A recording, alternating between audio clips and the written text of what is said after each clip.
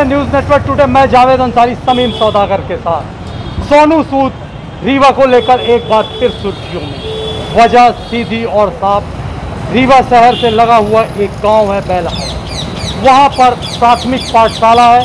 वहाँ के बच्चों ने एक ट्वीट किया है, जिसको सोनू सूद को ट्वीट किया था। वो चाहते थे बच्चे वहाँ की सड़क पर जाएँ। मामा जी प्रणाम। हम सब छोटे छोटे बच्चे मध्य प्रदेश के के रीवा ज़िले के ब्लॉक ब्लॉक पड़िया के, पड़िया पंचायत के बिल्हा गाँव में रहते हैं। मेरा गाँव पांचवी तक स्कूल है। आगे की पढ़ाई के लिए दस, सौ से अधिक बच्चे बच्चे को पास के गाँव में, पास के गाँव, खैरा जाना पड़ता है।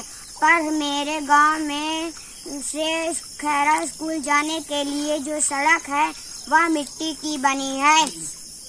उसमें घुटनों तक दल दल है और एक नदी भी है। हम है, हम लोग रोज दल दल में गिर गिर जाते हैं। कपड़े, किताबें सब खराब हो जाती हैं। और नदी में में बहने का डर भी रहता है। प्रधानमंत्री जी को उसके लिए, उसके उसके उसके ऑफ़िस के में लिखा गया है शिवराज मामा जी को को भी लेकिन रोड नहीं बनाई जा रही है। कृपा सोनू सूद मामा जी आप बोल दें ता, ताकि हम बच्चे स्कूल तक ठीक से जा सकें कि मेरे प्यारे सोनू मेरे मेरे प्यारे सोनू सोनू सूद मामा जी। हमारे साथ प्राचार्य हैं, वहाँ पर स्कूल उनके अंडर में है। हम सीधे उन्हीं से बात करते हैं, सुधीर बांडा जी हैं। हम जानते हैं पूरा मामला क्या है। मैं सुधीर बांडा, संकुल प्राचार्य निपनिया। और मेरे संकुल अंतर्गत ये बेला पूर्व माध्यमिक, प्राथमिक विद्यालय है को एजुकेशन है। बच्चियाँ और बच्चे दोनों पढ़ते हैं, प्राथमिक विद्यालय ये। ये पड़िया पंचायत में आता है। तो चूँकि मैं अभी पिछले महीने मैंने डीपीसी की हैसियत से मैं वहाँ गया था, डिस्ट्रिक्ट प्रोजेक्ट कोऑर्डिनेटर भी हूँ मैं। तो वहाँ गया था तो वहाँ जाकर मैंने देखा कि जो नहर है, नहर के बगल से बच्चों के लिए रास्ता है। और रास्ते को, चूँकि वो भूस्वामी हैं, उनकी ज़मीन है, सरकारी ढर्रा व रास्ता वहाँ पर नहीं है तो उन्होंने अभी जेसीबी से कुछ रास्ते को खोद दिया है। तो बच्चों को आने जाने में काफ़ी तकलीफ़ होती है। तो वहाँ के जो हमारे सरपंच महोदय हैं, उनसे हमारी वार्तालाप भी हुई। तो उन्होंने कहा कि चूँकि यहाँ शासकीय ज़मीन नहीं है, प्राइवेट ज़मीन है तो अपन 15 फुट ज़मीन पट्टेधारियों से बात करके बरसात के बाद ज़मीन दिलवाने की कोशिश करेंगे और रास्ता सुगम हो जाएगा, उपलब्ध हो जाएगा और बच्चों को आने जाने में कोई तकलीफ़ हो चूँकि पहले खोल दिया गया था और चूँकि ये ध्यान नहीं दिया गया कि ये रास्ता शासकीय नहीं तो बच्चे कैसे आए जाएँगे?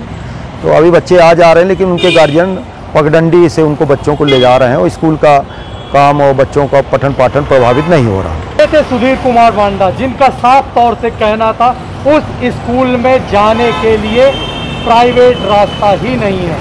जब प्राइवेट रास्ता नहीं होगा तो उस स्कूल में बच्चे कैसे पढ़ेंगे? स्कूल बनाने वालों ने उस समय ये नहीं सोचा बिल्डिंग तो हमने बना दी लेकिन इस स्कूल के अंदर लोग आएँगे जाएँगे? हम बात करेंगे निश्चित रूप से वहाँ पर जो भी सरपंच हैं। हमारे साथ पिंटू जी मौजूद हैं। सरपंच है वहाँ के। स्कूल का पूरा मामला, क्योंकि सोनू सूद के ट्वीट की वजह से स्कूल इस समय सुर्खियों में। पिंटू जी, मेरा एक सवाल है।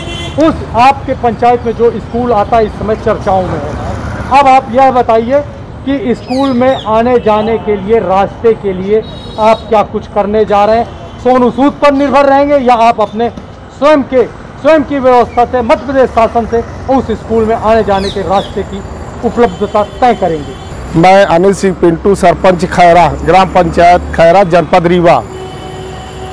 जहाँ तक ये रोड का सवाल है, रोड ग्राम पंचायत से भी बनाई जा सकती थी, लेकिन उसकी लागत ज़्यादा आ रही है, और वो प्रधानमंत्री सड़क में भी जुड़वाने के लिए मैं पूर्व सरकार जो थी, उनमें कमलेश्वर पटेल जी मंत्री थे, उनको आवेदन दिया था, रोड जुड़ भी गई थी।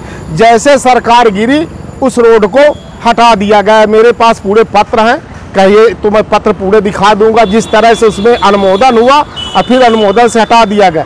ग्राम बेलाहा के बच्चे हमारे यहाँ लगभग तीन से, तीन सौ बच्चे हमारे ग्राम पंचायत खैरा में पढ़ने आते हैं, और हंड्रेड वन परसेंट रोड बहुत ही बदतर है, कम से कम तीन तीन फीट पानी पानी रोड में भरा है। बच्चे आते हैं गिर जाते उनके कपड़े और किताबें नष्ट हो जाती हैं। साफ़ तौर से बता रहे थे रास्ता नहीं है सरकारी रास्ता नहीं है प्राइवेट रास्ता है। रास्ता पूरी उपलब्ध है।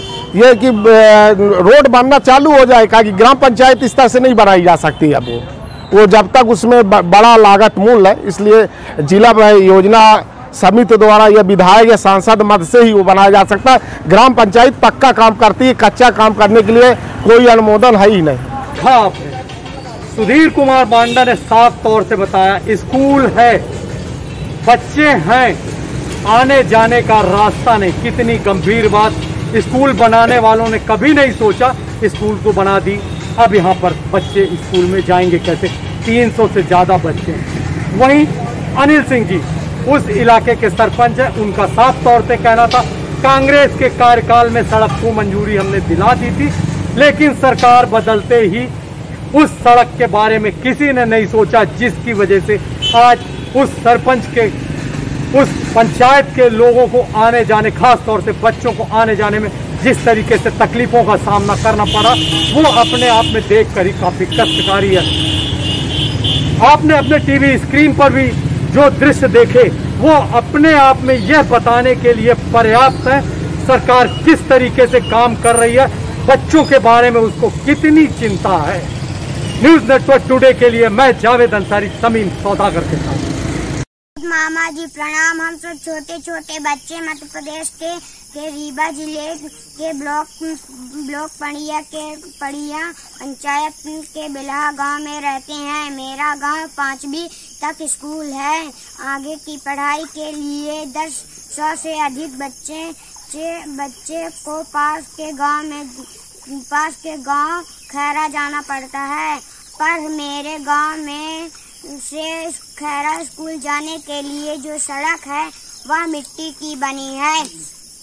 उसमें घुटनों तक दल दल है और एक नदी भी है। हम है, हम लोग रोज दल दल में गिर गिर जाते हैं।